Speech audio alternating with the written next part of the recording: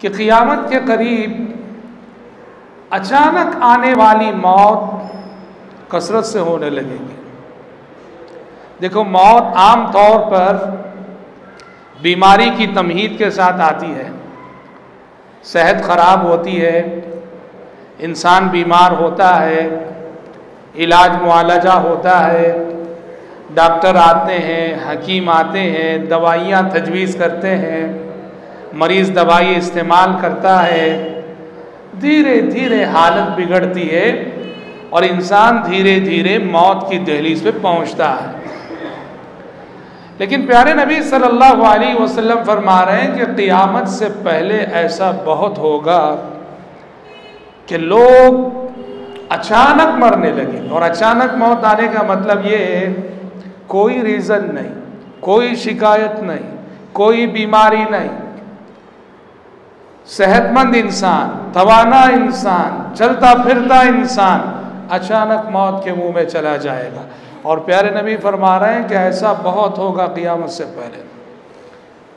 हजरात, हम सबको, जब हम ऐसे दौर से गुज़र रहे हैं, जब क़ियामत की निशानियाँ पूरी हो रही हैं, और ये निशानी भी हम आए दिन अपनी आँखों से देखते रहते हैं, ऐसी ख़बरें सुनते रहते हैं, सिद्क दिल से सच्चे दिल से अल्लाह की जानब रुजू होना चाहिए।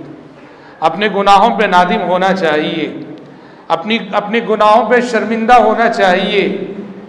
और हर वक्त अपनी अमल की सूरत हाल ऐसी रखनी चाहिए कि अगर अल्लाह की तरफ़ से आज बुलावा आए तो आज चलने के लिए तैयार हो। कामयाब होने वाला इंसान वही है। शैतान इंसान को ये धोखा देता है, फरेब देता है। हाँ अभी तो जवानी है, अभी तो लंबा सफ़र बाकी है, अभी लंबी ज़िंदगी बाकी है, अभी तो बुढ़ापा आना है।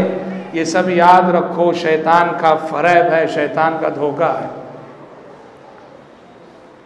क्या ज़मानत के हर नौजवान की ज़िंदगी में बुढ़ापा आएगा? क्या गारंटी कि हम में से हर शख्स बुढ़ापा देखेगा?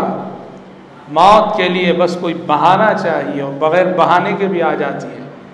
तो क़ियामत से पहले ऐसा होगा कि अचानक आने वाली मौत ज़्यादा हो जाएगी, कसरत से अमवात होने लगेंगी। और आपको मालूम है कि प्यारे नबी सल्लल्लाहु अलैहि वसल्लम ने अहादीस में ऐसी मौत से पनाह मांगी है। अचानक आने वाली मौत से पनाह मांगी है और किस लिए पनाह मांगी है?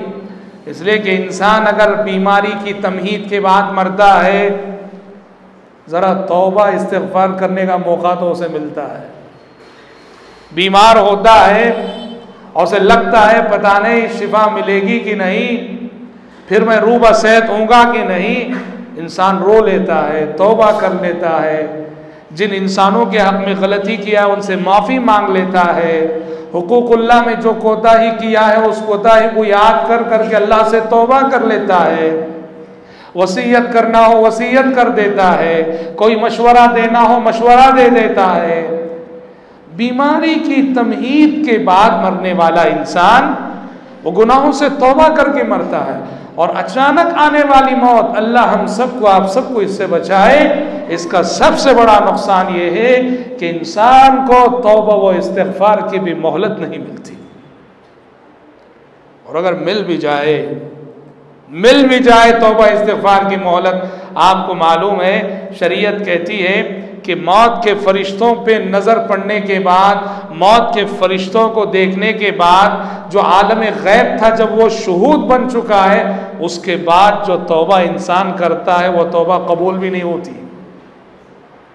इसलिए मेरे भाई प्यारे नबी सल्लल्लाहु अलैहि वसल्लम ने इस चीज़ से पनाह मांगी है कि अचानक आने वाली मौत से परवरदिगारा बचा लेना हम सबको पनाह मांगते रहना चाहिए, इसलिए कि हम उन्हीं हालात से गुजर रहे हैं, उस दौर से गुजर रहे हैं, जिन हालात और जिस दौर में प्यारे नबी सल्लल्लाहु अलैहि वसल्लम की बताई हुई ये पेशन गोइयाँ पूरी हो रही हैं।